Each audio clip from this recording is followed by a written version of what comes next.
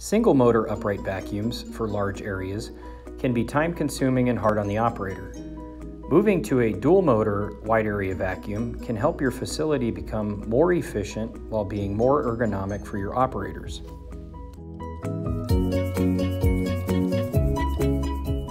The Brady Industries 31 inch wide area vacuum has the same capacity as four 10 quart backpacks, has a detachable power cord for easy maintenance, and includes an off aisle wand with detail tools. Foot activated brush height adjustments. Push pedal down to lower brush, lift pedal up to raise brush. This is the machine's brush on off switch. Please note, when using the off aisle wand, ensure the brush switch is turned off. Vacuum on and off switch.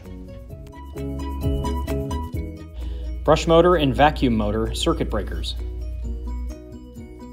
Handle height adjustment lever.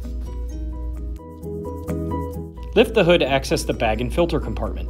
There are two filters for the vacuum motors that occasionally need to be removed and cleaned. Note, these cannot be washed and reused.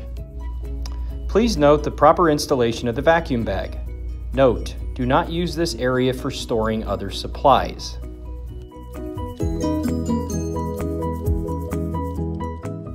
When the handle is lifted and turned, the wand can be used.